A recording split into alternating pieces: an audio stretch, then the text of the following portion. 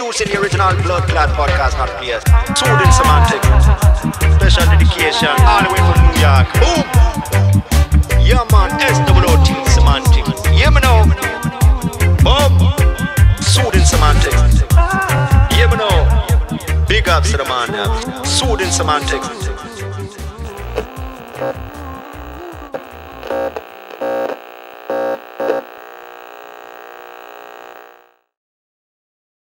On another episode of Soothing Semantics. Don't forget to subscribe, like, and share. Today we have, I would, I would confidently say, the most interesting guest I've had thus far, uh, Khalilah Ali. For whoever doesn't know, she at a point was the wife of Muhammad Ali, and he definitely needs no introduction. Yes, he does. So yeah, it's wild. Do do you ever kind of? This is an interesting question I, I have to ask. What's that? do you ever kind of people like remember remember him and remember you when you were together do you ever kind of want to say well okay i was i was married to him but i have my own life you know the, the, do you get where i'm, where I'm going Yeah, but uh, to me, the fact that I wasn't just married to him, I helped his whole career. I sacrificed with him. I kept him positive until he was able to fight again.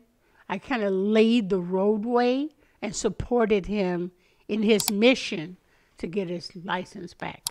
So it was a struggle, and um, we worked as a husband and wife as a team, as you would do uh, Jacqueline uh, Kennedy and Mr. Kennedy, Obama and his wife. These husband and wives, they work together on everything that they do. And the structure of his life, I gave him hope uh, when he had kind of really changed his whole life by being a philanthropist, being in a religion that was uh, uh, probably the most uh, infamous religion there was in America. And we lived as it was a nation within a nation because everything on on the inside of that world was my world. And that's the world that I was born in. It wasn't the world Lee was born in. right So I had to kind of guide him and Oh. structure him as he structuring and supporting me with his uh, legacies. But most importantly, it was a part. It was just a man with a with a person with an arm. My arm was his arm. that's important Yeah, and that's the difference. So the legacy that he left is our legacy. It's not just his. It's our legacy. And to go back in that time to build up a man, to work with him with the civil rights and the human rights, and standing up for the rights of religion and standing up for what we believe in, that was all on my watch from Jump Street since I was a child. Yeah. i have a question Yes. I, I saw your i saw a video an interview you, you did on youtube with someone i'm not sure who where the interview was but you basically told the story of how he went from cassius clay to muhammad ali that was a wild That's story what my book is out. It should be very interesting. oh you're putting a book out soon Oh, it's it's like that close. It's uh, I've been Wow. working on it for over forty years. Um, it's a it was a it was a book that I had my struggles in trying to really expose. And uh, every time I decide not to do it, and everybody says I should do it because they want to know the story, and it hasn't been to, ever told. I mean, you think of you know, how is it that my story wasn't told in every story that his book was? I mean, where, where, why, why wasn't, why didn't they reiterate me in in the story? It was all. They, they looked like they just focused all on him, and you know, so at that time, that was the most uh, valuable and very sensitive moment of his life and uh, and the struggle right there. And it's, I wasn't just a, a wife sitting on the side, you know, collecting moss. You're very much in, very I was very much involved. involved. Um, Uh, so I, also, I would like to say I'm known as Dr.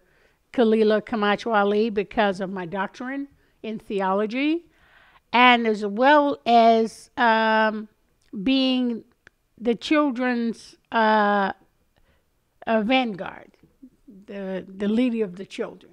I have a passion with children and uh, and adults, but the children is most important because the way I was raised, uh, I want the path of the, our children today to go down that path, uh, to give them inspiration, to inspire them to open up so they can build their own legacy. And you cannot do that without developing good character. That's for sure. One of the most important things is to help the children to be focused on their character. I think in this day and age, you have more of an ability to develop your own character because there's social media and you can reach anyone in the world. The world's such a small place, but at the same time, a lot of younger kids and teenagers, when they see a role model, a lot of people, a lot of them don't necessarily choose the individuality. They just copy them. Oh, I, I like that athlete or I like that actor or actress. But it's, just it, it's good to be inspired by mm-hmm. certain athletes and, and certain characters. But most importantly, they should admire their character. And they mm-hmm. look at it on a social media point of view as opposed to truly themselves. Mm-hmm. Uh, a lot of celebrities, they develop uh, an image, and half the time they not they do not re- support that image, and so a lot of children get disappointed. So, if you have a person that has a good character, uh, the image would be fine. The, you can't develop develop an image without a character, without your own character there, because sure. it will show through and it will be contradictory. That makes a lot of sense. I agree. Mm-hmm. Uh, I I wanted to go into the story though, because if you'd be willing to share it, the story of how how you met Muhammad Ali and That's that's interesting. That's what the whole book is about, basically. Mm-hmm.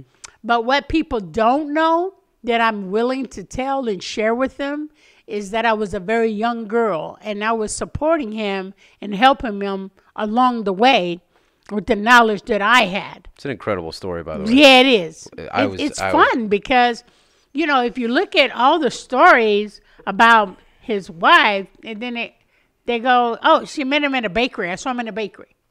Honey, by the time I got to the bakery, it was he was um, asking me to marry him. I met the man at a young age. I was 10, but it wasn't about marriage then. It was just meeting the person. Mm-hmm. I was 10 and he was 18 and he was astounded by the things that I said to him as a young girl because I took my life very seriously. I take everything for your word. Um, you just can't say anything to me and I don't take notice why you said that, you know. So um, the thing of it is, is when he came to visit the Honorable Elijah Muhammad's empire, mm-hmm. in which I was raised in, he was interested in his lifestyle and the person who made it possible for Malcolm X to survive jail and and to be a a speaker um, and speaker of the people. You understand? So that that was in my world. He came to our school. And see, we was I was raised up in a school that taught literally taught us black history in the 50s because it was a private school. The Honorable Elijah Muhammad's wife, Sister Clara Muhammad, she is so beautiful. She's the one that started the schools for young girls.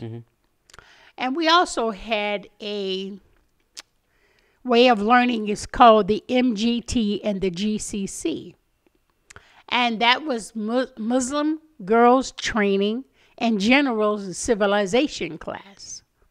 All girls were uh, supposed to man, mandat is mandatory to join that. It's, it's mandatory. Mm-hmm. There's no way you can get out of it. So when you come, even at the age of 11, I think the Jewish people have it when a man becomes a man, he's 11. Well, this is, is it 13? Well, we're 11. Right. All right. So, Well, don't they also? I mean, they do circumcisions at 13, right? The men. Well, well, actually, they do, but usually it, that's the Jewish religion. Well, and the we Islamic religion, they do it at birth. We do it at birth. Okay. No, eight days. Eight days. Eight days. Okay, it has to be. You have to be born. Oh, I thought it was like 13. Uh, the, the minute you're born, we get circumcised. The minute we're mm. born. Okay. Yeah. Because we, don't like to do it later because something is very painful. Yeah, of course. I don't know. I guess I just was told otherwise, but okay.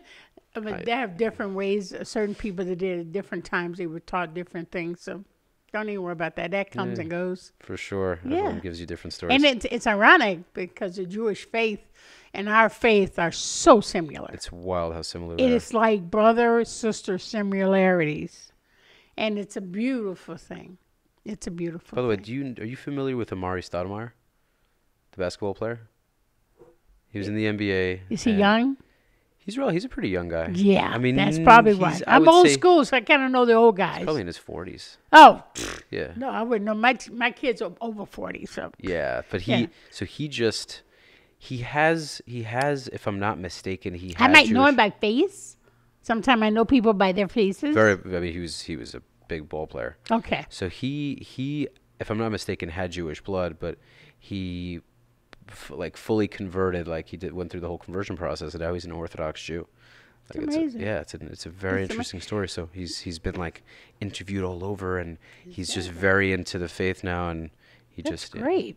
Yeah, he seems very happy with it. That is great. And you know what? That's what made me who I am because of my faith. I stuck with it. You learn about it, you hear things. Your mother and father teach you certain things to be a certain way, you know. And then when you start mingling with the outside world and you start adapting to younger people's lives. Mm-hmm. But see, the only thing about it is that the Muslim religion it carries on to your younger lives. It caters to your youth. It caters to your youth. Right. You're saying more so or differently than, than others? Yes. How yes. so? Uh, it's because uh, a lot of young people tend to sway away from what they're taught because they don't think they're hip or whatever. But uh, the teachings of being faithful, no matter what your religion is, and I, I categorize down them to only three religions. That's it. That is the trinity of the world. There are only 3 major religions. And this religion is the religion that believes in one God. Right. And those three believes in one God. Mm-hmm. Anything else man-made that comes up after that, it falls underneath those three. You understand? So Judaism, Islam, Islam, Al-Islam, and Christianity, those are the trinities. Abrahamic. Yes, right. Because in the Jewish faith of Abraham and uh, and the Christian faith of Christ Jesus, and then you have uh, the Prophet Muhammad under the Islamic rule of Islam. And each of these ways of life that people tone to cater to, um, they're all good. They're all giving knowledge of the the the supreme being, the creator. They all give homage to the creator. And there are words and stories that will justify their the ends of the world. Mm-hmm. Their ends of learning what has happened in the past is a lesson for your future. It's all true Yeah, well, history. It's history, history repeats itself. repeats itself all the time Yeah. and people try to oh i don't like religion I'm, it's not the religion that you don't like it's the fact that people did not follow through with their beliefs and you just dislike the people who did not follow through with their beliefs. It's not the religion that you don't like. It's the people who said they believe in something and they do the opposite. Let's just be honest hear- with one another. Right. I hear that. You just be honest, and and and just to be totally honest, I'm kind of straightforward like that. A mm. little raw in the edges, but mm. I'm straight. I don't bicker and backer back mm. and forth. I, you know, your opinion, whatever your opinion is, or whatever that, it has nothing to do with it. Your opinion doesn't succeed over God's word ever. I was going to go back to the fact Oh, okay. that I uh, just- when the- I was 10, that's why I was saying the religious part mm-hmm. And uh, but we had black history in our schools in the 50s they didn't have black history in any public schools you know. I don't know if because of the regime of the bigotry and the hate with the white american southern white american or whatever. But um, um, and the slave mentality and the slave world that they went through it was a tough road for blacks and they had to stand up for themselves. And um, but the history like i said once you know your history when you know where you came from you know where you're going. And that's a big part of it. And by ali did not know what i knew as a child uh, was a bit different, and he was. And we were taught that the names, the Muslim names, are names of culture. Any other culture has respectful names. You know, if you have a cultural name, a Jewish name, or something like that, Bernstein, or you know, you know, That's European, by the way. Zuckerman, uh, that's European. But you are you familiar at all with Sephardic Jews, with the with like Jews from Middle Eastern Yeah, yes, I So- do. So like in America, America. we all, but I'm saying in America, most Americans only know Jewish people as the Europeans, like Goldstein, Bernstein. Yeah, exactly. But there's a lot of a lot of Jews that have Middle have- Eastern last names. Yeah, they have Middle Eastern last names and they have cultural last names. You know, like Yeah. Russian names and German names. Well, those They are have- European also. That was all Europeans, right? But the thing of it is, I was I was taught that our name is good as gold, Mm-hmm. and that by us being Muslims and we don't have our original names, we are supposed to have it in the future. How do you get? How do you explain that? It's like uh, like if you came up Charles Johnson, or you come up um, uh, Glenda Smith. Um, if I would say, "Here's Chung Lee Wong," getting ready to come sit with you, automatically you're gonna picture uh, Asian Right. or Chinese. Okay, um, automatically before you even see the guy. Of course. Right. Okay.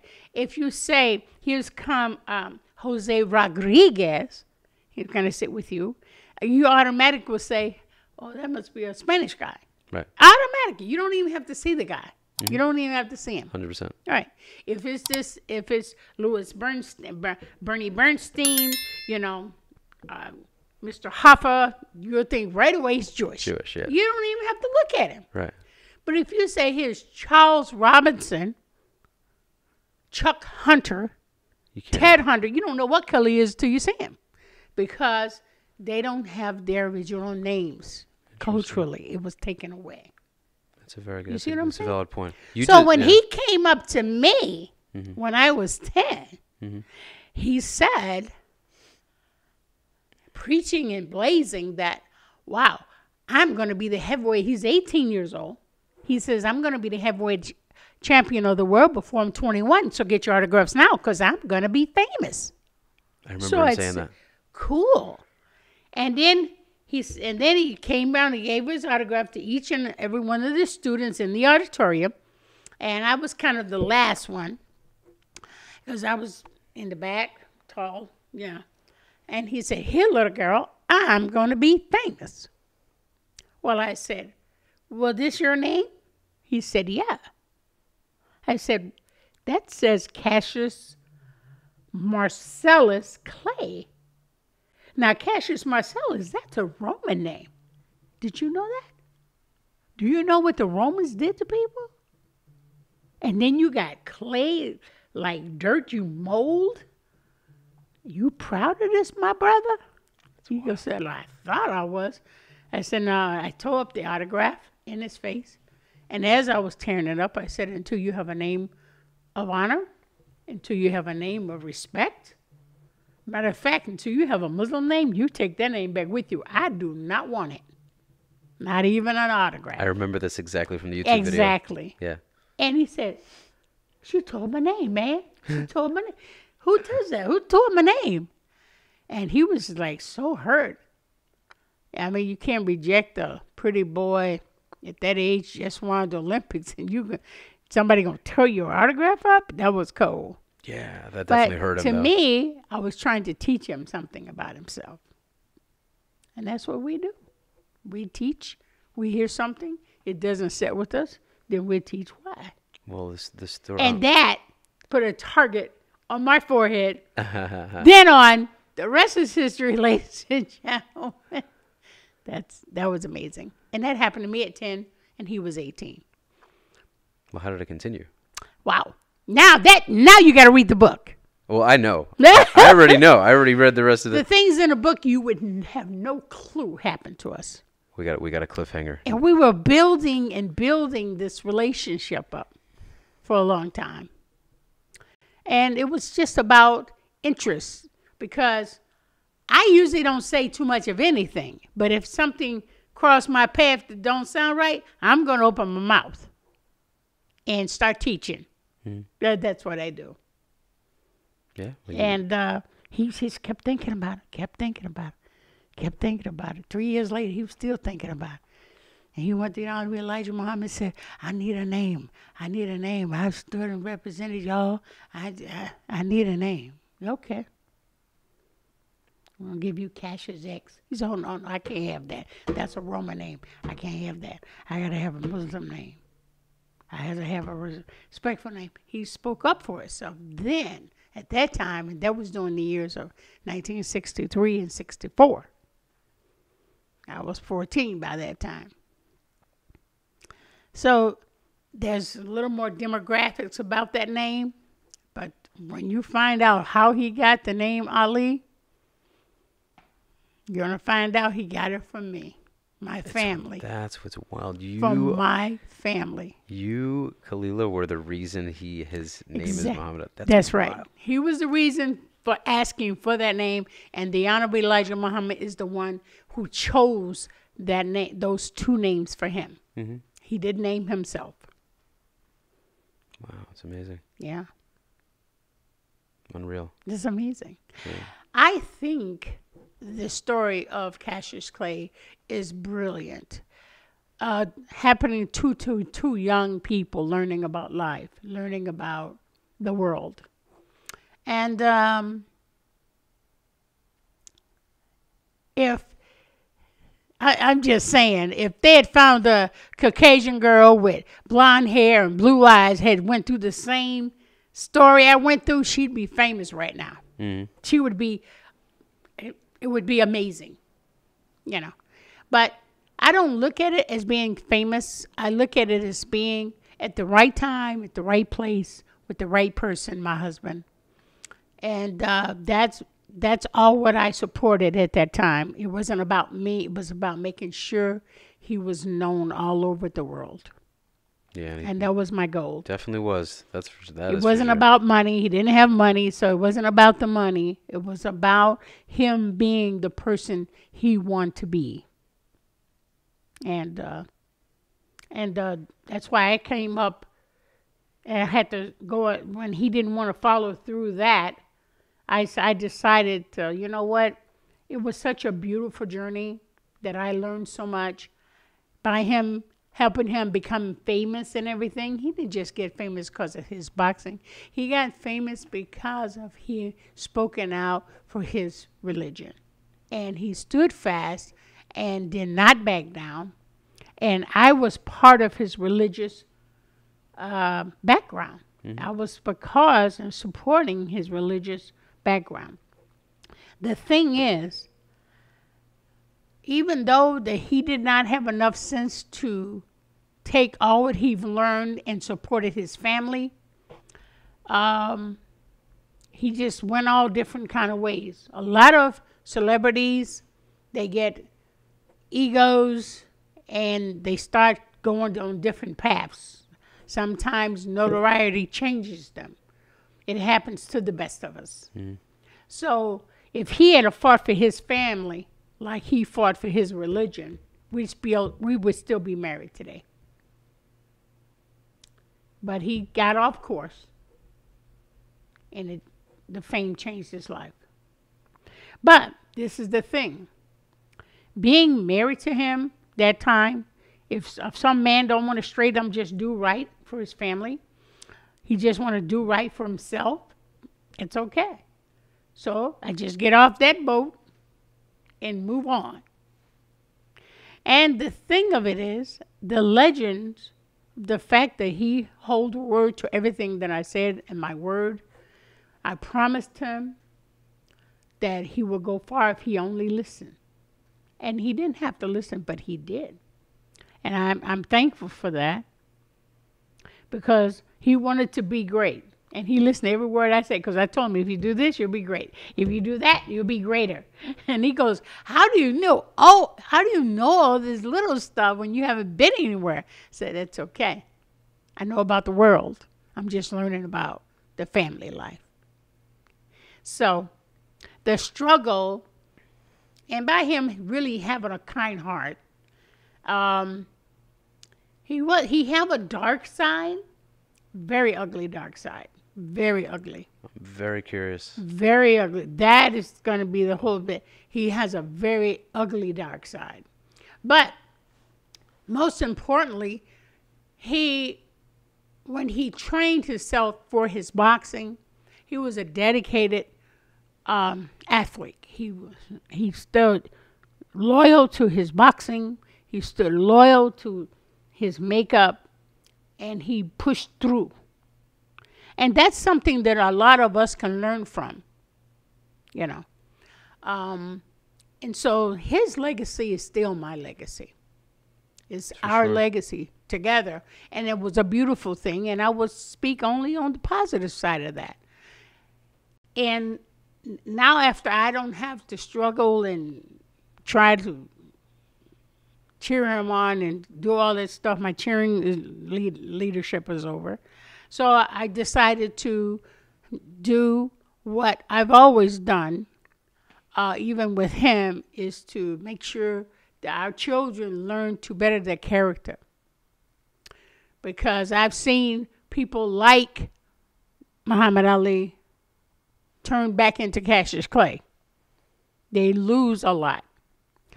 So I don't want the kids to go back go backwards when they grow when they're going forward they never try to go backwards. And he made that mistake.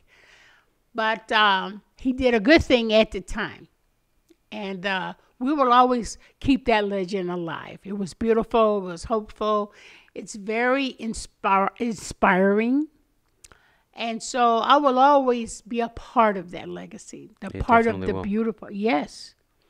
And um, so I will always support that part. Uh, the other part,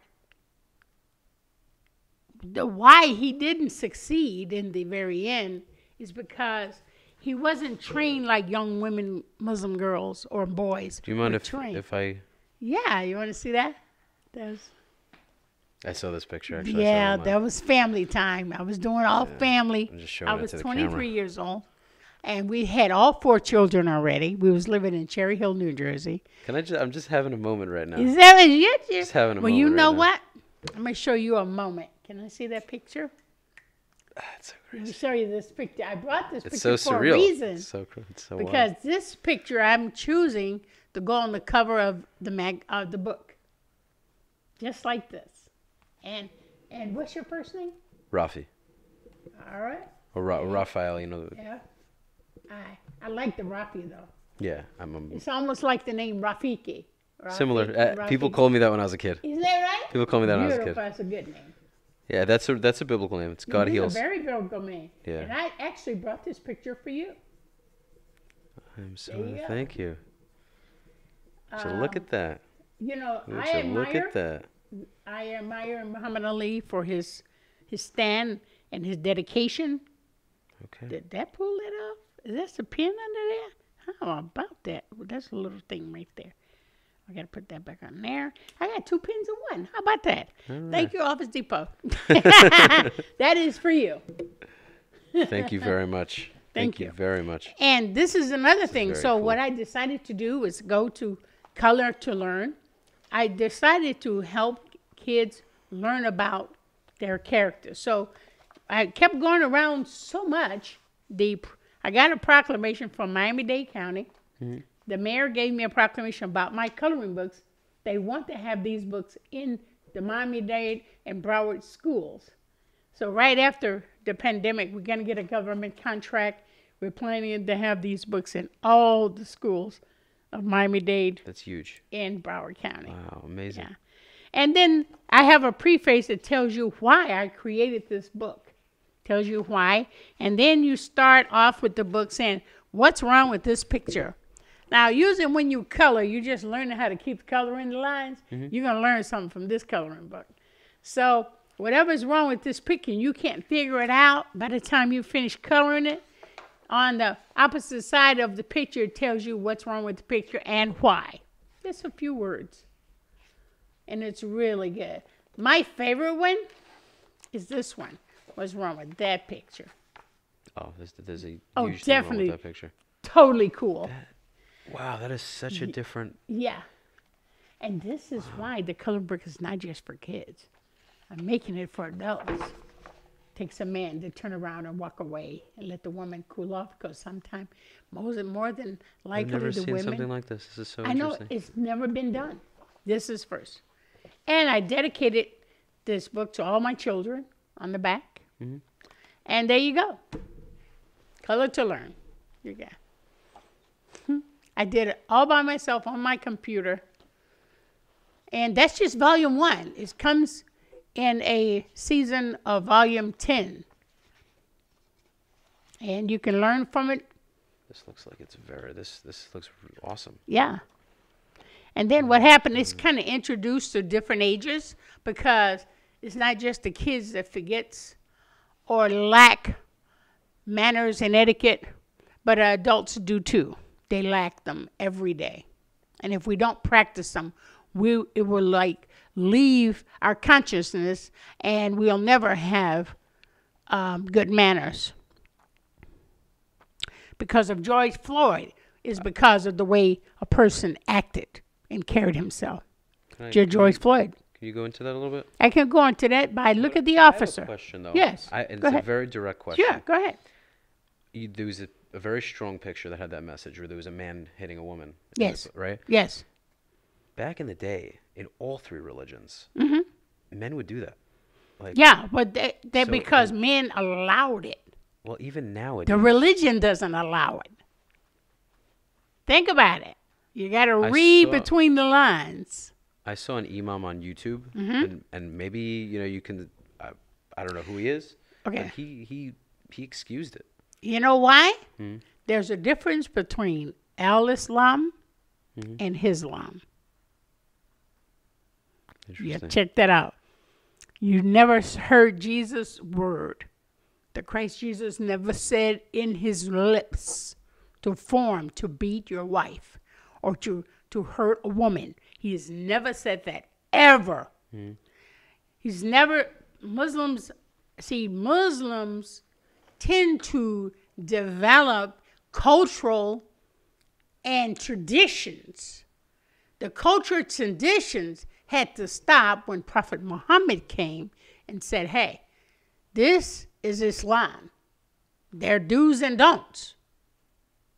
And it's not permitted. You're supposed to treat her with kindness and respect.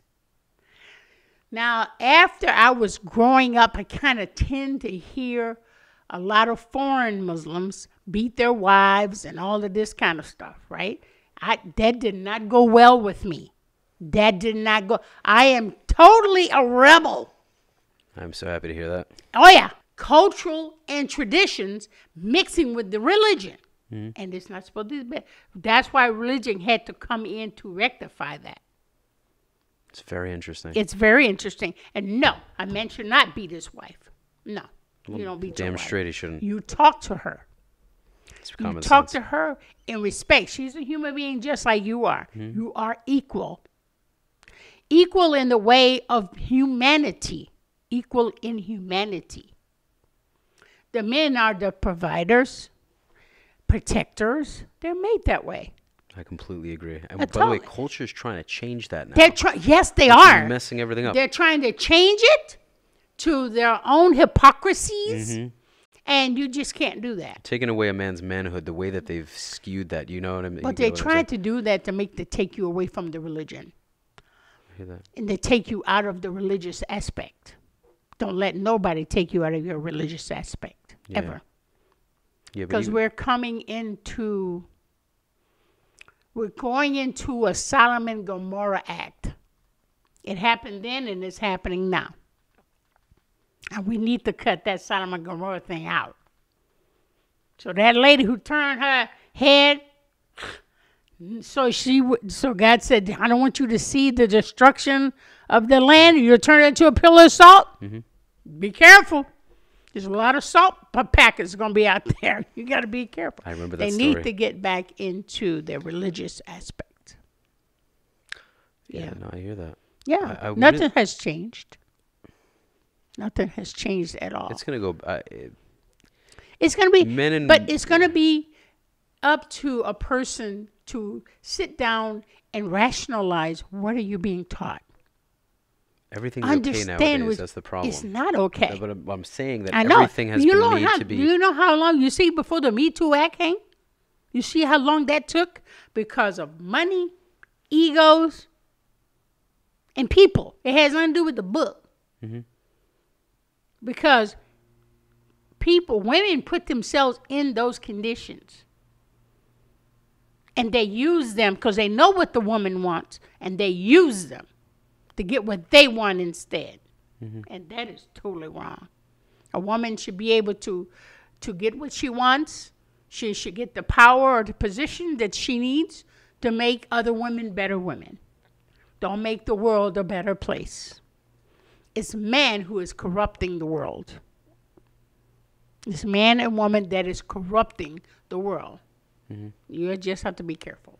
So anytime when I see somebody do some that kind of hate, and up now with the Asians and the hating Asians, horrible. these are just people just hate. They, I don't know if they're depressed. They want to be in in the newspapers, and they just said, "Well, I don't care. Chuck it. I'll just do it so I can horrible. be somebody." People do that for different reasons hmm? and, and and it's and it's not acceptable. It is not acceptable, and they should be punished by the law. But I, have a very controversial thing to say, and it's like, it's tough to even bring it up on the podcast. But What's that? I don't know if this is true or not. What's that? When it came, now let me make this straight. What happened with George Floyd is definitely wrong. The cop, what the cop did is wrong, It's without a question. Yeah. I, I will not argue that. But you, The you only, got- the only ahead, thing that, the only thing that I'm, that I did have a bit of an issue with is supposedly, and I'm, I'm not excusing the behavior of the cop. I want to reiterate that. Mm-hmm. There is a claim that George Floyd broke into a house a while back and held a, wo- a pregnant woman at knife point. Yeah. Now, Well, see, besides the point Mm-hmm. of all his problems, he should have been arrested and going to jail. agreed. He is not. It's not acceptable for him to die over something like No. I agree. I, all Yeah. I'm saying There's is, there's no excuses for it. right. See, this is the thing. It's not the fact that he killed a black man to me. It's the fact that he did it around his superiors and they allowed him to go along with it. You have different officers in the system. Mm-hmm. You have police officers putting their life on the line with the minute they walk out their door. And it's gotten that bad. The behavior of a lot of these men who get arrested, I mean, who cusses at a cop and throw for, for, for, for, uh, profanities out, and this guy's carrying a gun? Who's stupid enough to do that? People, it's ridiculous. Well, then that's their behavior. I don't. I don't feel it's right for no one to kill anyone. They should be punished. They should be savored and protected until they are punished. A lot of times people don't feel that justice will be served because of Southern acts, certain certain routines that cops has been hiding away for a long time. This they, these things that's happened to these people, this ain't the first time this has happened. Okay, this ain't nothing new. Mm-hmm.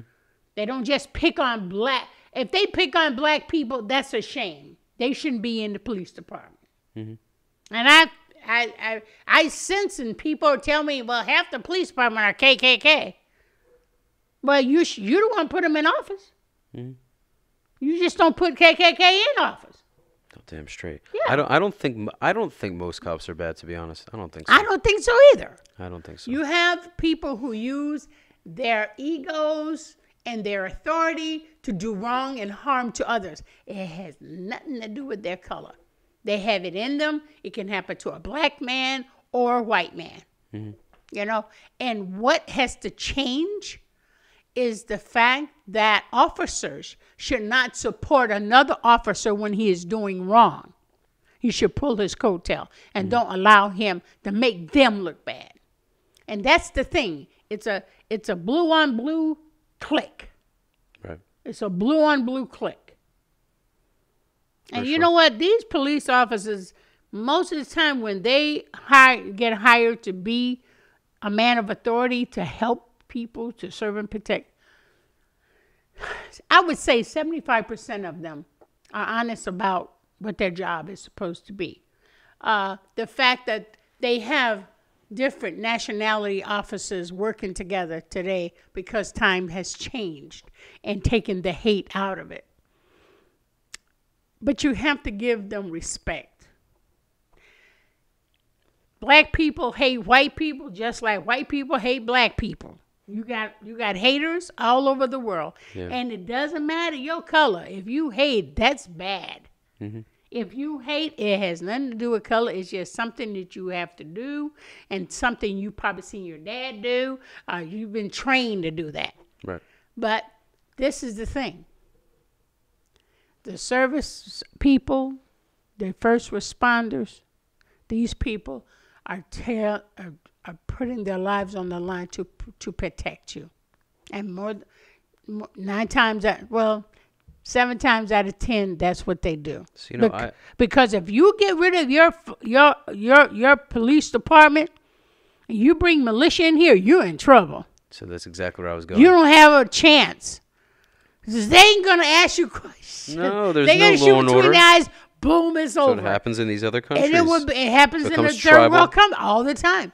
Because you should share, cherish your police officer. You should go in there, but you have to be careful. These pe- people is out to hate you. They're out rapping songs about the hate. They're rapping songs and they're bringing the drugs in your neighborhood and you're and you're allowing it. So something's got to somebody got to stand up and make a stand. wow, this is really good. It's not about the black and the white. right, I hear you. You have to give each other the benefit of the doubt that they're okay. Even though the static says usually when they see somebody doing something wrong, then they probably are doing something wrong. And then most of the time, the police will provoke. And you have to be strong enough to humble yourself and not be provoked. Yeah, I think. And then if you're not, if you do not provoke an officer, then that's even better on your case. It will be better for you and your case. it's like from the book with the with the the man and woman. If the man you know choose chooses to uh, you know He chooses to just turn around I think you know when because women to can make a she she know how to push a man's buttons. I ain't, I ain't gonna lie. We got skills, bro. we, got, we got skills, and usually, uh, I would say fifty percent of the chance a woman's provoking you, and she gonna put you in jail. honest. If she don't like you, she wants you to go to jail. You know, what- it's funny with cops. Like, there, I've been pulled over here, and they're very rarely, but like for speeding or whatever. And um, anytime the cop was a bit of an a hole, I was just, I just kept my mouth shut. Yeah, know? And I think like most of the time, as long as you're good, the moment you start, because a lot of it's emotional, you start giving them attitude. That's when they get that power trip. They you just let They them do get the power trip. You just let them do. Give them the I speak out first. I What's speak that? out so quickly, so they won't even have time to think about what they're gonna do to me. I So do speak too fast. Hey, officer, how you doing? Did I do something wrong? Talk to me, brother. Talk to me. I'm here. I'm here with you. I'm working. I'm working with you. All right. You have to have a happy attitude. Right. Now, there are times that black men are just picked on and they just say, well, we're going to get this one and they have a target out. But the best thing that you can fight that target is don't give it anything to work with. You get 100%. mad at them back, then then you got a problem. think And it's it's going to make it's going to it's common sense. escalate. It's going to escalate. And because there are people who who really do hate. For but sure. uh, but you know what? We have to realize that all human beings, every soul that the Creator have created, has a right to live, and their lives always matter. I don't I don't want to get in just Black Lives Matter. I'm not for that. I'm I'm I'm for all lives matter. I'm for all lives matter. Just don't hate. You don't have to hate. Black people hate just as bad as white people hate. So you don't need to get into that. You need to get off of the hate, go back to your holy book, and think about what Jesus said, what Moses said, what Abraham said, what Muhammad said. Listen to your history. Be humble. Be grateful. It's a shame we can't drop the mic because it's connected to the. Boom. Just take it off the table and chuck it down. You know what? And another thing that I have another problem with. We have been through a very hard row. Afro Americans, Black Americans, whatever name they're going to call it next year, whatever. They've been through a lot. But this is the thing you can read now, you can write, you can go to any university, then you can learn to afford to, to, to, to succeed. Mm-hmm. You can't be blaming people for your conditions. You can't be blaming people for your your own fault. Because nothing and no one, if you're a child of the Supreme Creator, you can do anything that your heart desire. But to take all these Love this, Khalilah. institutions, you do? This is I because I agree with you. it so much. Really? I do too. because we all, you know, uh, everyone, uh, different groups have had it very difficult. Yes. You know, you know, Yes. Jews have been through slavery, black people have been through slavery, and we should never we ignore that. We should never ignore that. I know that. And at but the that's same a time- history we have learned. We have to, we have to move forward Can with it. you Everyone's got a imagine? different. I go to LA Fitness and I swim in the pool like everybody else, and there's nobody telling me no, go over there and swim in the black pool. Right. So you sleep in the color pool. Do you know how far we've come? Come on now. How long are we gonna take this little petty bickering? This petty bickering. So what difference does it make now? I couldn't agree more. When you go to the hospital, do they decide, well, he's black, we don't give her no good medicine, we get a white one? Who does that? Nobody does that. When people go in for the COVID, they go in and they try to help them out the best way they can. When I had the COVID, man, I have never seen so much grace and so much concern and so many people trying to save my life. And they're there for you. People are actually literally there for you and your fate will either destroy you or destroy your lineage.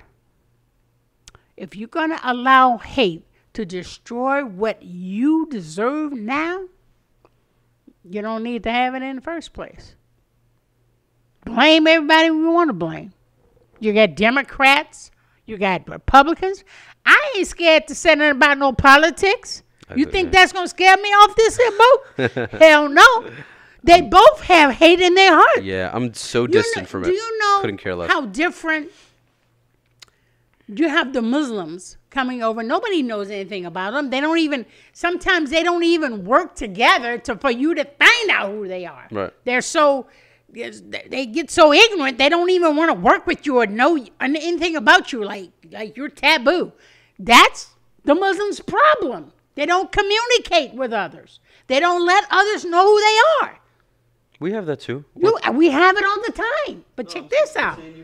Yeah. You have Orthodox Jews who have Yeah, that too. I, of course. When it becomes very kind of insular and, and Ex- they you- don't. You're, you know- alone and you keep yourself alone. But if you are any kind of religious person, you want to open up to them, tell, talk to them, communicate, and learn, teach them who you are, teach them what you do. It's not going to hurt you. And you have a lot of Muslims that, that keeps away from you. They are afraid you're you're haram. You're yeah. Yeah.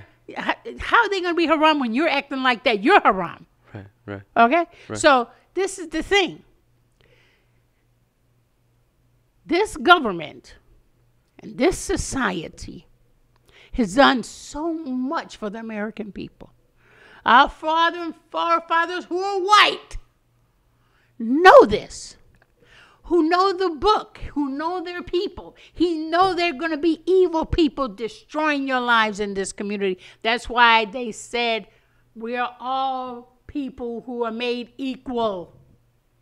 I real quick though, 'cause, uh, to be honest with you, What? I barely follow politics anymore. I am so tired of Politics it. is it affect- necessary. Yeah, I try In, to. in a way, in the long run, it is necessary to be part of your political issues. Yeah. So you can have freedom of what you want to do. You will be able to vote people who don't deserve to be in the offices Hmm. that do you wrong. And you have to start learning to vote them out. It is important to be political. I hear it's that. important to be a part of it, to have your say. So you can be a part of keeping people that you know are out of political office and put the people in and give them a chance. And if they get in there and change, and kick them out again. So your your interest of this political world is very important. Yeah, I hear that. It just a lot of it is just. I so have much- worked with a lot of human beings. I have worked with political parties. I've worked with worked with the Democrat parties, and I've worked with the um, uh, Republican parties. And believe it or not, I have gotten more work out of Republican parties than the Democrats. And, and and and and it's amazing. Uh, I just came from Virginia, and I went, went to Republican Party, and they were beautiful. They enlarged my speech. I went to go to the Democrat Party first time I was ever. They closed the door on me. Really? Oh yeah, because of hate. Because of hate. You have to open up your heart, love, and see what you can do together. You have to work together.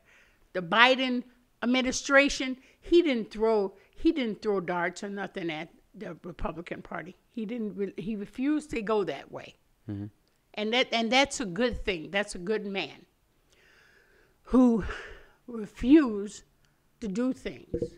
He fell down the stairs. That was hilarious. though, Yeah, to be honest. he's he's Feel he's, bad he's up in age. You know. Yeah, he- he's a little- little on the older side. Yeah, I wish we had a person like Spartacus running the country, somebody strong and big and not too weak. you know, as far as appearance, because we need to vote for younger people in office. Yeah, we never Get do. these old hags out. it's he doesn't have a very strong image, to be quite It honest. doesn't matter as long as he do the right thing. Yeah, yeah. But we need to get some. This is why we've got to work with younger people to get I'm not. I'm not running. try to try to get, get try to get a young person with an old soul in there. They're out there. yeah. They're out I, I there. think I kind of have we that. need but- them, Mm-hmm. and we need them. We need them. I wanted and to- your political opinion is very important. I hear where you're coming from. I I still don't put too much stock into it, but I hear what you're I know saying. you, you don't have to put stock into it, but you do at the end of the day. You want to have your say, and you do not Yeah. want somebody in office that doesn't deserve to be in office. You know, I think in and during the election times, this is a good time to actually actually watch a person during the year and see how they handle their communities. I, it looks like they're putting uh, the governments in separate entities, like they're having governors to run certain things in their state, and uh, and and the senators run certain things in their state. And I think when you break it up like that, I think it'll be interesting because people will know what to do in their own workplace. You know, you got to get somebody who knows the city, who knows the people, and it's not they're not in office just for the money. Yeah, it's. I guess it's just hard to gauge that for certain people. That's it. But all people are really in their deep down in their heart. People are basically good. They were they were created to be good. And when they get tainted, believe me, it'll surface. yeah, it's. A, All you know, that's a- be quiet very- and listen. That's a very contra. Uh, sometimes I feel I, I feel like a lot of people have good intention, but at the end of the day, a lot of most of us do want what's best for us, right? They do. So they really we, do. there's a selfishness. To, I think I was talking about this on a on a an ep- another episode, yeah. and uh, he was saying that he thinks all people are naturally selfish, They- and yeah. not, right. And they're lazy. you see how lazy you are now? You got uh, DoorDash now. People don't want to go store no more. They rather have it DoorDash at the door. Right? That COVID did that. Hmm People are very, very Yeah, lazy. we don't want to get up from the couch. It's They don't want to get up from the couch. They're very lazy. So, you know, and I don't. be- I believe that people have to really worry so much and don't fear your vaccines and everything. The vaccines and this and the doc- democracy with the government has taken care and protected our people for a very long time. Uh, they didn't need your damn opinion when it came to the cholera. They didn't need your damn opinion when it came to polio. They didn't need your damn opinion. But they were there to help you. Mm-hmm. They have medicines and everything that has side effects, yes, but they want it to cure. People back in the 70s, I had a cousin had lupus. She died almost instantly at 34 years old. I know my neighbor, she's got lupus and she's she just made 60. And my cousin didn't even live one year longer than that. So America is good with vaccines because the scientists who are out there, they know what they're doing. Mm-hmm. Follow the guidelines of your vaccine. Every medicine is not going to agree with you. Everybody can't take penicillin. Everybody has uh, got allergies. There is allergic reasons and side effects on every medicine that ever have come out in the world. But the majority of the vaccines are basically good. It's because of your health that might have a reaction. Because people at 45 got so many health issues. I'm 71. I don't have that many health issues. There you go. I've just been blessed, and my mama fed me the right things at the right time, and I grew up properly, and I ate the right thing. The Jewish person, they'll live a long time because they eat the right thing. And if the Christians follow their Bible, they'll eat the right thing. It's hard to understand that because you have some very religious people that, that die when they're extremely young. That's what's always uh, It's, it's, it's not about when they die. It's the fact that you want to live healthy in this earth so your children can be healthy, just in the process. And this is the struggle for being focused on yourselves. And your mind is not running out into stuff that you don't need to get involved in. Hmm. The young people have so much energy. And they got so many paths to choose from. have, you have a ton of energy. Yeah. Yeah. You think? Yeah. I feel like I'm feeling now at 38. Yeah. You, I was hot. I was eager. And I was ready to go. You know what I'm saying? And believe you me, I still feel that way because these are the things I got to work on. These are the things I'm excited about. These are the things that's important to me. Nobody has to follow me, just follow life, the good part of life. Mm-hmm. It's very simple. You don't have to be a rocket science to figure that out. But this is the thing. We die every day. The creator has already gave us our number. it's wild when you put it like that. Yeah, it's scary. I just I'd rather not know. I'm not afraid. I'm not afraid of death though. I'll be honest. I, I'm I'm just grateful to have another we day. all are. I'm just grateful to have another day. We are. I mean, uh, are. yeah, but you do come to your senses and say, hey, you know what? I wake up this morning, God, thank you, Allah. Thank you for letting me live this long, another day. And then Ramadan is coming up. I'm ready to do Ramadan again. And and then the Jewish, I, you know, I have a rabbi too, you know. My rabbi named Rabbi Frank. And I can't wait for Shul to come. I can't wait for Hanukkah. I can't wait for all these beautiful things that these beautiful words are sharing throughout the world. Mm-hmm. Yeah. Yeah. the thing is, we have to learn to make us happy. That's all. If you focus on making you happy, then you're focused on making your children happy. And all that other rhetoric And out there's there. less hate, room for hate, Yeah, yeah, just Yeah. learn to be happy. for sure. You can be happy. You can be in a. Does that does that goat look ha- like he happy to you? He looks he looks ecstatic. He looks yeah, and he's licking his tongue out at us. Yeah. You know what? I used to cut you down and make barbecue goat sandwiches out of you. You know that? hmm But you know what? It's it's it's all about being happy, being wonderful, being exhilarated with life itself. Yeah. The more you focus on it. if on you're your on own, the street, be happy. Just be Mm-hmm. happy you are alive. Focus on positiveness. Focus on getting off the street. God will take you off the street if you want to. You only want to be there because you want to be there. But you can get yourself out of any situation. And you don't have to steal for it. You don't have to lie for it. Just be honest with yourselves. God will always open that door and be ready for you. But if you're ready for Him, mm-hmm. if you want to be a good Christian, be a good one. If you want to be a Jewish person, be a good one. Just be the best you can be because it's all good. It's all good that's awesome. And love that. respect those who believe in other things. But the other things that they believe in, it might not go on your schedule, Hmm? but it will go in your humanity. It's awesome. It's good to learn about each other. Yeah. it's good 100%. about. Oh, now I was used to clean houses, and I had been around Jewish people a lot, and and we know about the dairy dishes and the meat dishes are separate and all that, all that kind of stuff. I mean, these are routines, Mm-hmm. and when you learn people's routine, you respect their routines. There Pretty, it's pretty simple. Live and let live is a pretty simple There concept. you go. I, I wanted to uh, talk about your show a little bit. Okay. Oh yes, that is so wonderful. That's exciting. We can't forget about You know, that. back in the day, in 1978, when I was going through a divorce with Muhammad Ali, I used to be an activist with Jane Fonda and Tom Hayden. And Jane Fonda introduced me to Cesar Chavez. He is the Martin Luther King of Mexico.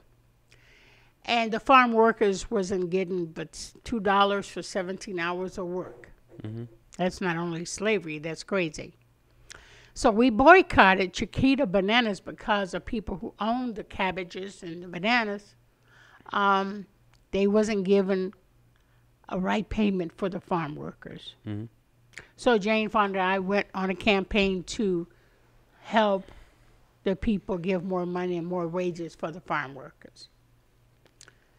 Doing that, Jane was so excited with me. She said, "You know what?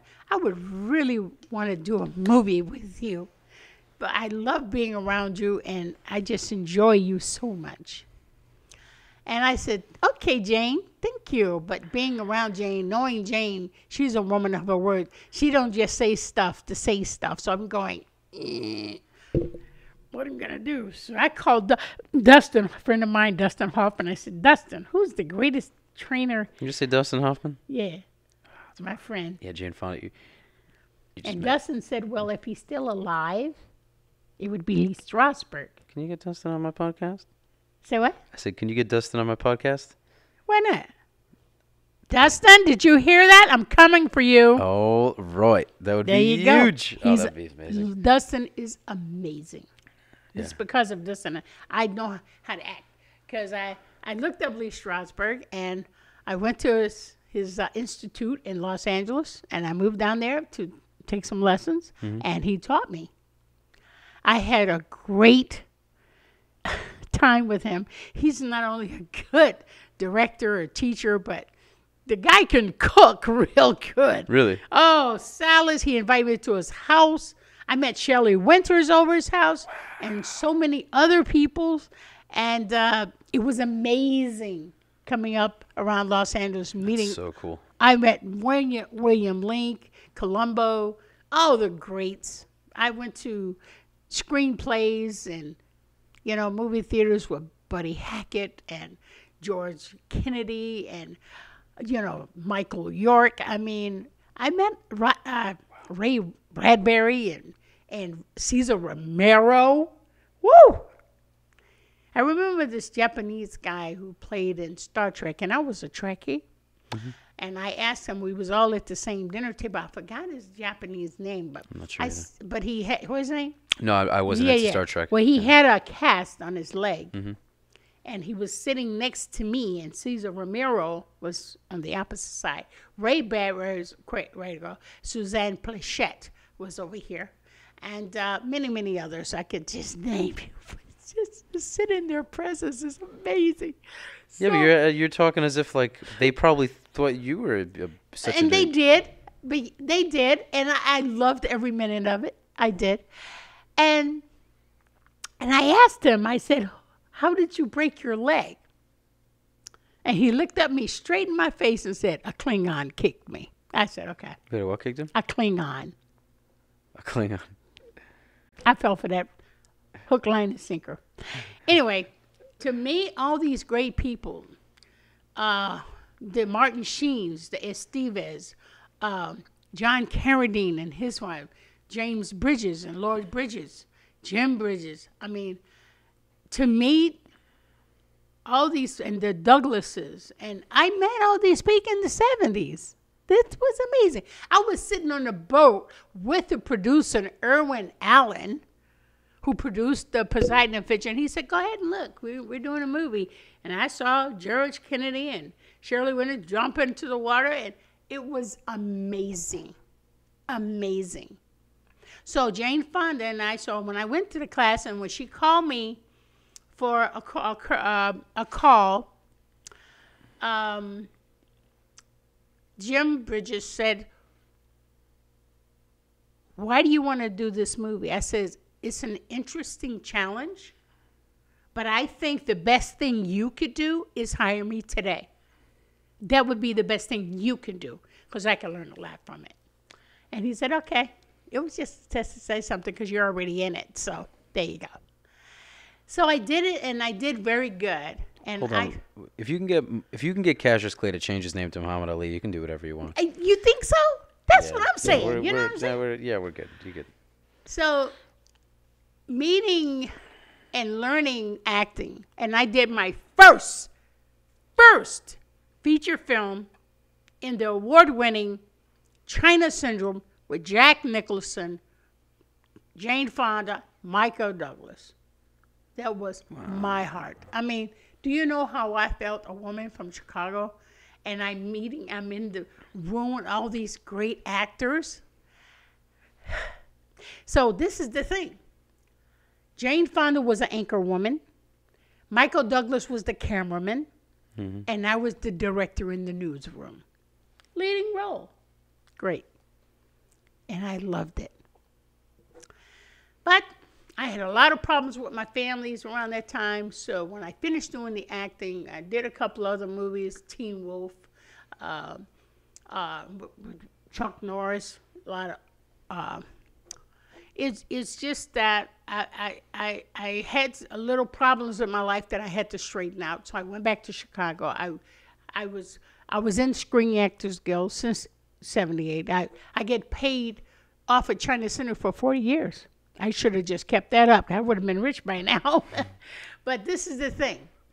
I said after this book is out and that's done, I want to get back into film because I wanted to develop more conscience film, something positive for our youth, so they can have fun with their lives and not be on the destructive road. That'd be So- interesting doing film and it, like you have your you have your coloring book. Yes, you can. It, I can actually put that in- in a film. that'd be so cool. I can. And you know what? So last Christmas, around that time, um, a friend of mine was researching me doing films and everything and found out I wanted to do films. And I said, Well, we got a film. We think if Khalilah would come on board, I think she would bring a little excitement to the film. And so the guys, uh, Lee Carter, executive producer, and um, Juice Bigelow, who had already had the series The Grid on Amazon Prime, and it had five series up already, uh, episodes up. And I go, and you want me to do what now? He said, I want you to play Mama Soleil, a woman of the community with Haitian descent, and she kind of against her style, and you're trying to help your brother to get out of the cartels because we're dealing with cartels every day. I said, fine. So as I got on the film, I'm not going to just sit there and watch. I'm going to say, well, where are you getting your guns from? Well, if you can tell us where we can get some guns and we'll pay them or rent them, uh, I'll let you do that part. But most importantly, um, that's your job. I said, okay. So I called a place where I shoot my gun at, at all the time. I practice. And a friend of mine named Dan, he uh, runs a uh, the National uh, Gun Armory over there on Atlanta Boulevard, but he has his own company called American Guns and the American Gun and uh, Range. And Dan said, "Okay, Khalilah, uh, who's your producer? I'll talk to him." And I said, "You talk to him, and he'll tell you what he needs." So he calls the producer and say, uh, "I'm Dan. I'm with Khalilah's gun range, and she said you need guns." He said, "Are you the producer?" He said, "Well, you could have just asked Khalilah that. She's a producer too." He said, "But she didn't tell me she was a producer." He said, "I know because I haven't told her yet." Oh snap! And so he said, Really? So he called me back and we arranged and had the guns at the Airbnb and we did our film. So he said, Oh, so now I'm a social producer. Yeah, you're going to make this really something. So fortunately, in the past, I have already developed my casting company two, three years ago. And I casted people from Orlando doing the the uh, Disney. I got cast from the Disney Adventures and from Pirates Caribbean. I've got a lot of cast out of there. Wow, that's very cool. Yeah, and it's called the greatest casting agency at AOL.com. So I had already developed and start collecting people for my agency, and half the whole staff is from my casting company. So if you want to come from my casting company, you need to put your picture on the casting company. Send me your picture. I sent it Your to diamond. You already did? you. You told me to. Then I guess I'll be casting you for the summer. It's the greatest casting agency at AOL.com. Where can you find the show, The Grid? The grid, okay, I'm in episode six and my whole staff. This will be the first time the episode would be about 45 minutes long. Mm-hmm. The other episode that they had before me was like 15, maybe 20 minutes. Not even that. Hmm. So we're trying to get Amazon to promote us and give us enough rank to pay the actors. So we're working on that. But I've had a lot of offers of people want to do the whole the grid as a film. So I really like it. Now, now we discuss a lot of things on this show. And I just wanted to let you know that since I have such a passion for the police department, because I've had several people in my family work with the police departments and fire departments. And so I came up with an idea to make a cop series so we can get bad guys out of our neighborhoods and the gangs out of our neighborhoods to protect our children. And my show that I, the movie I want to be doing is called, which I'll probably cast you in, it's called Pure Justice. It's a comedy. Okay. Yeah, because all this bad stuff is so horrific. You, you got to make fun out of it, otherwise it's depressing. I hear that. Yep. So You know what's funny about comedy? Because I was t- I was telling this to to my I think we were, I think my roommate and I we did an episode and I think that's who I talked about it with. Mm-hmm. It must have been him. It's funny how sometimes it's the comedians who are able to deliver the biggest truths. exactly. Like with uh, Chris Rock, yeah, um, Kevin Hart. definitely. Definitely Kevin Hart. Ice Cube. Um, well, Ice Cube is not a comedian, but he can be very funny. Um, Omar Epps. I mean, It's funny. The Mike comedians. Epps, no, Mike Epps. And um, these, Dave Chappelle for sure. David Chappelle, I love him. Oh, gosh. He's oh. number one. He's he's pretty oh, much I number want to meet David Chappelle in the best way. You haven't you you haven't met him? Never met him yet. David Chappelle. David, I'm coming after you. He is so warm and so, and he's Muslim. I I did know that actually. Yeah, I did he- know that. he- he- Does he practice at all? Um, you know what? That's the thing. Anybody that's in any religion, it takes time for you to wean out your bad habits. Mm-hmm. That's what the religion is for, so you can get better. So he does have a couple habits that Muslims don't do, but he's working on it. He is hilarious, but he's Yeah. that's the thing though. He, he speaks these truths. He speaks direct. Oh, he says he's things so funny. sometimes people listen When he listen does to a things drug more. anything, I just fall on the floor. he's hilarious. He's hilarious. He- he's I, I would say he, he's Mm-hmm. Yeah. I met, I've hung out with Frank Sinatra for months really and years and days at a time. When I when we was on the same shelf, we lived, me and Ali lived on the same h- hallway, on the same floor of the Fontainebleau with with Elvis right you across from Blue. Miami Beach. Yeah, Yo, you there was a point you were living there. Wow, that's cool. yeah. Thanks to Frank Sinatra. But it's Frank Sinatra that stood and said, Black people must be they can come into hotels, they're entertainers, and I will not sing again, and it happens. Turned that around just like that. Frank Sinatra is the man. He was a hero. He was Captain America to me. He was There's nothing like hearing his music on a random day. chairman of the board with a heart of empathy. Henny Youngman and Mel Torme and Dean Martin. I've seen them stand up and say the most greatest thing about humanity you'll never hear again. I think said to Ali because he he drew those kind of people. It's awesome. John Gotti, of all people. I met him too. Nice, nice fellow. Do have You to, got to tune to the grid. I'm in I will. episode six, how, well, and we're hopefully- going to be making It's it on better YouTube? and better. How It's can I- going to how be can I- on Amazon Prime. It's up there now. Check it out. Five episodes already up. You can go look at it anytime you awesome. wish. G- Check it out. Make sure to watch it. Let us know what you think. Uh, Khalilah, Yes, thank you so much for joining me. thank you. And all I can right. say is don't count the days. Make the days count that you're here. And also be good in your heart and in your soul to others and with respect. And you will go a long way. God be with you. Ladies and gentlemen, Khalilah Ali. Thank